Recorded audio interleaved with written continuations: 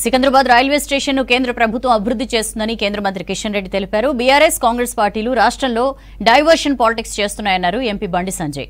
దేశాన్ని పాలించిన కాంగ్రెస్ బీజేపీ పరిపాలనను పోల్చి చూడాలని అన్నారు రాజ్యసభ సభ్యులు లక్ష్మణ్.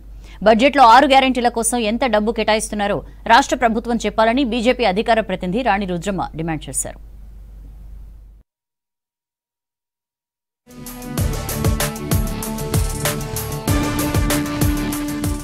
కేంద్ర ప్రభుత్వం ఏడు వందల పదిహేను కోట్లతో సికింద్రాబాద్ రైల్వే స్టేషన్ను అభివృద్ధి చేస్తుందన్నారు కేంద్ర మంత్రి కిషన్ రెడ్డి. మొత్తం మూడు దశల పనుల్లో ఫస్ట్ ఫేజ్ పనులు వేగంగా జరుగుతున్నాయన్నారు. ప్లాట్ఫామ్ వన్లో మల్టీ లెవెల్ కార్ పార్కింగ్ కోసం నిర్మిస్తున్న బిల్డింగ్ పనులను పరిశీలించారు కిషన్ రెడ్డి. స్టేషన్ ఆధునికీకరణ పనులపై రైల్వే జీఎం ఉన్నతాధికారులతో రివ్యూ చేశారు కిషన్ రెడ్డి.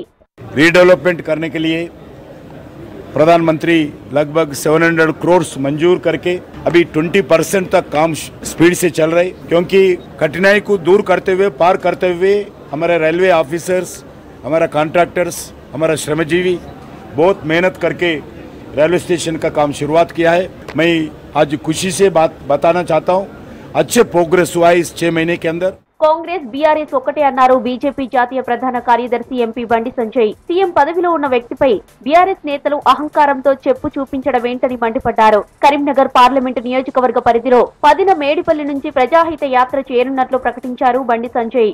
ఈ కరీంనగర్ పార్లమెంటు నియోజకవర్గంలో ప్రజాహిత యాత్ర పేరుతోని పదవ తారీఖు నాడు మేడిపల్లి నుంచి యాత్ర ప్రారంభిస్తున్నాం.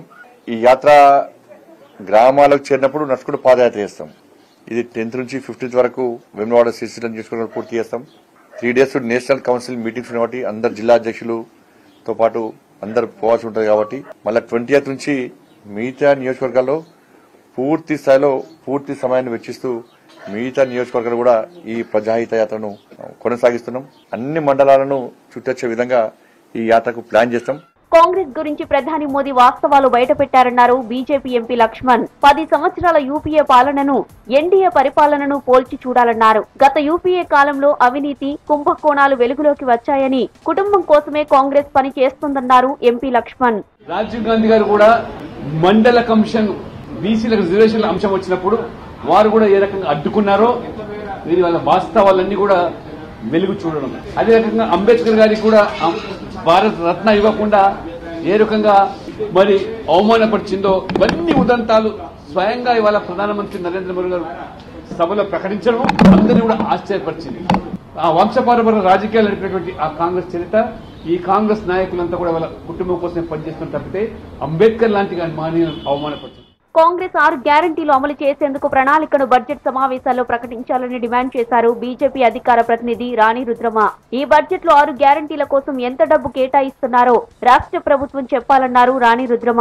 మరి రేపు అసెంబ్లీ సమావేశాలన్నా అక్యురేట్గా మరి మీరు జాబ్ క్యాలెండర్ ఎప్పుడు రిలీజ్ చేస్తారు? ఈ ఆరు గ్యారంటీల అమలుకు సంబంధించినటువంటి ఇన్ఫర్మేషన్ ఎప్పుడు ఇస్తారు? అనేటువంటిది చాలా స్పష్టంగా చెప్పాలని మేము డిమాండ్ చేస్తున్నాం.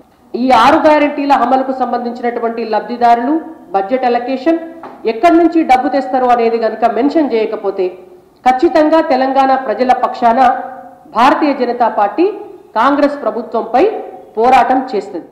రాష్ట్రంలో అధిక ఎంపీ సీట్లు సాధించడమే లక్ష్యంగా జనంలోకి వెళతామంటున్నారు బీజేపీ నేతలు. త్వరలోనే బస్సు యాత్ర చేపడతామని చెబుతున్నారు.